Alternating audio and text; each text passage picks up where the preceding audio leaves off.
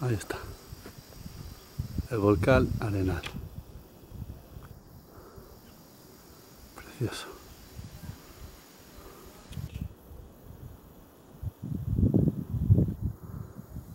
En teoría